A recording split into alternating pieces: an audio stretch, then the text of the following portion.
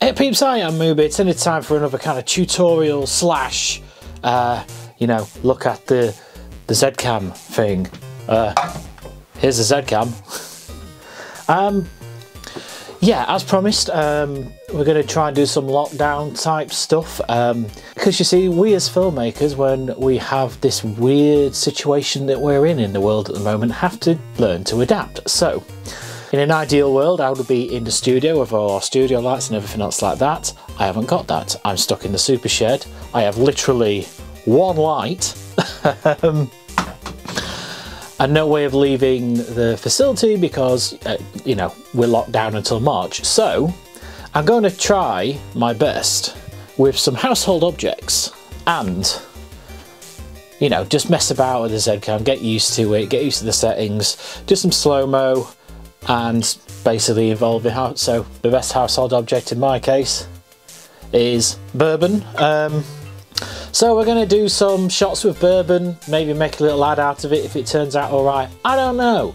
What I do know is I need to stop waffling and get everything set up, so back in a sec.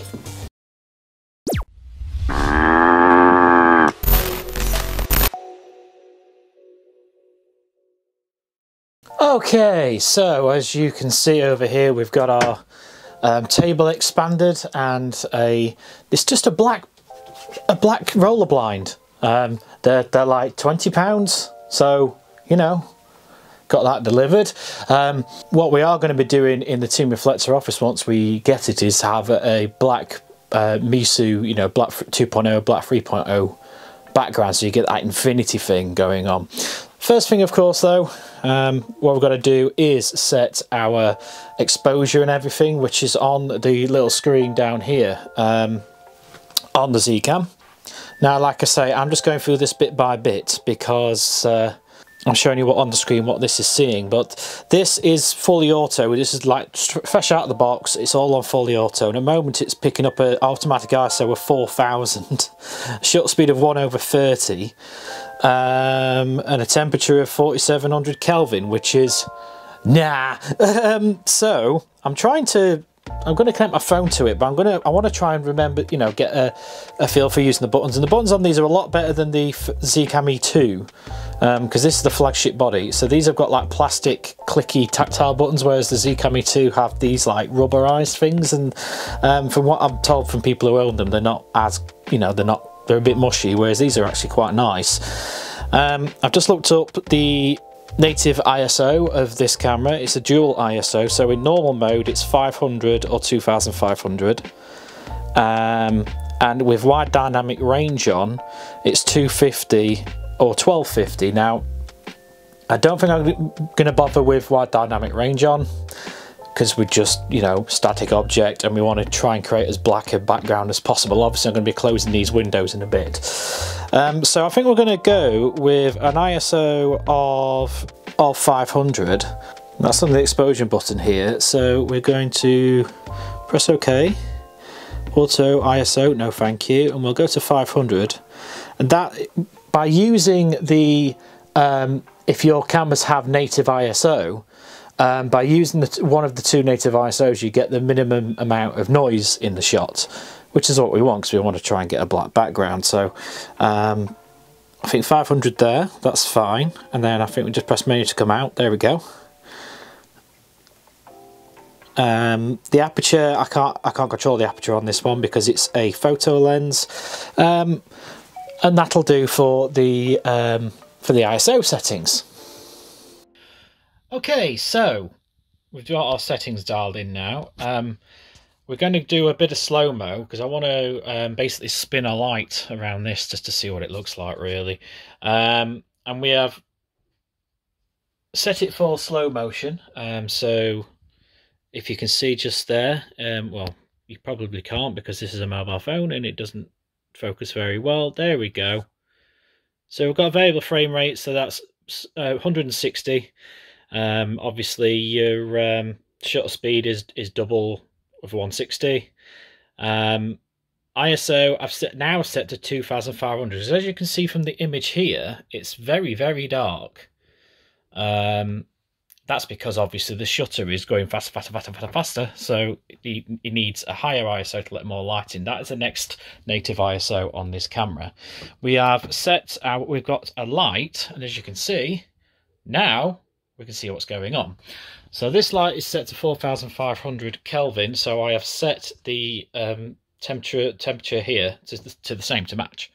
Hopefully that'll work quite well, um, but we'll see. And I'm just going to basically I'm going to close this blind and then I'm going to swap over, swap over to the camera now. Uh, so you'll be looking through that and uh, we'll see what the shot looks like for now. And then next we'll, we'll put some... Alrighty then, so you are now looking through the Z-Cam itself. Um, all the lights and everything and all the blinds are down, so if I move this out of the way, it's pitch black in here. So uh, what I'm going to try and do, I've got the light on a this little tripod with a little ball head what I'm going to try and do is kind of move it around a bit and see what happens so um, we are recording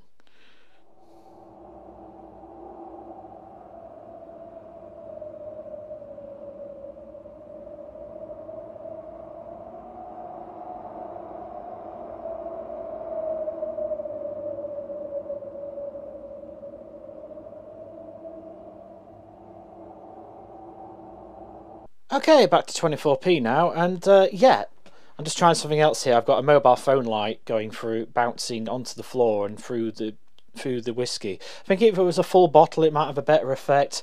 But our light is just just here, just off thingy. Um, as you can see, because I haven't got the um, or the professional stuff, I haven't got any anything to kind of stop the light going onto the background. Whereas, which is another reason why you want to use like Musou paint or whatever in the background or black 2.0 because that'll just absorb all the light and all. You'll just get is this in like a dead space you know? So I'm quite I'm happy with that. Um, I can't watch the playback because my monitor only does what, uh, 160 so um, we'll assume that went okay. You'll know before I do. Um, next we're going to just do like a normal product shot like this. Maybe a maybe a pan of some kind. So maybe we can do you know something like that probably that way. Just a little bit of movement like that. But we're going to do that and then we're going to get our glasses set up. I'm going to find something to make you know here we go. This is my um, notebook for, for my vlogs. Maybe I can uh, maybe I can stop that. Yeah that's better look. Get it more on the actual product you know? But I kind of like the little um, it's going from dark to light that way. That's not bad actually turn this turn this down a little. So I'm making a shutter here as you can see. So I've got my light. I can't quite see because obviously the camera's quite close to the actual thing but we've got this light here and then we can kind of shutter it. So I'm going I'll go for a bit more of a down depends on how where you put your lights because there's your down light you know? And you can kind of kind of like that shot there. But then you, you want to stop it. You want to flag it that's what they call it. You've got to flag it so it looks a bit more like that you see? But now I'm going to have a little play. Um, you'll see the shots at the end and now we're going to swap to our um, to our glass and see if we can get some slow motion water droplets going on so I'll see you in a sec. Alright so next shot we have got our bourbon in the background there the light is, I don't even be able to see this, but the light is uh, in between the glass and the bourbon here, pointing this way towards the lens a little bit. And then what we're going to do is do that and then, uh, whoops. So we start like there and then we go to there and then drop some water in. And I've raised the tripod up a ways because we, we're dealing with water and things and I don't want to get stains on this black background. So I'm going to put in it. I'm putting the actual glass on a tray. You just can't see it. Um, swap lenses as well um, to a fully manual 1975 uh, Viltrox. I think it's a Viltrox. Oh no, it's a, a Marexar. Um, 28 mil because um, you've got full um, aperture control on this. The I tried a 24 and a 50, a nifty 50. It's just what I've got in the house. You know, again, adapting with what you've got. You know, the cinema glasses up in Doncaster with Nick. Um, tried that, and yeah, they don't really work very well. I mean, they're all right, but having been able to open and close the aperture manually with these manual lenses like this, you know, you get that whole bokeh thing. You know, out of focus loveliness going on. So, uh, and obviously, we've got to make sure this glass is nice and clean as well. Um, but it's as you can see, it's very, very, very, very shallow. But if we want, if we close down the aperture a bit, just a little bit, we can see. See, I'm going to put a bit, going to put some liquid in here, and hopefully we'll get a drop bloop like that. Might be a bit close, I don't know, but we'll see how it goes.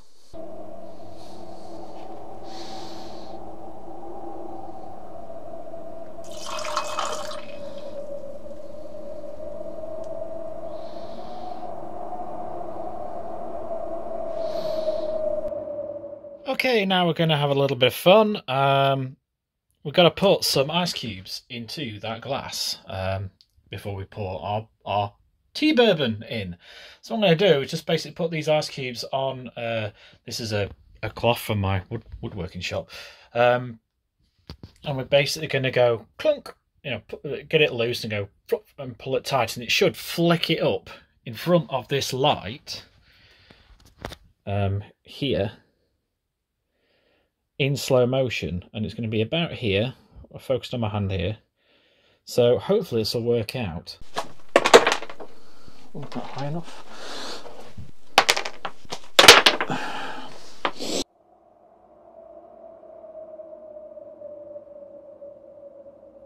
It took a couple of attempts as you can imagine, but I think I got a couple of good shots in the end.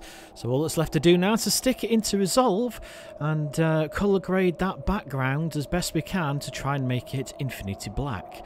And then you end up with something that looks a little bit like this.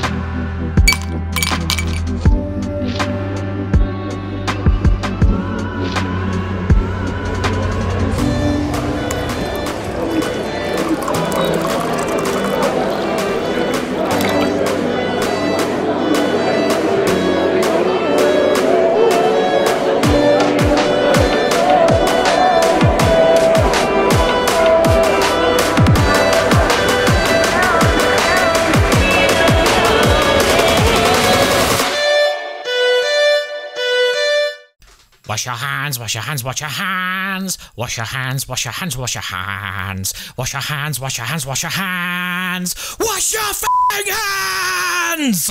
I like to move it, move it, bit, bit.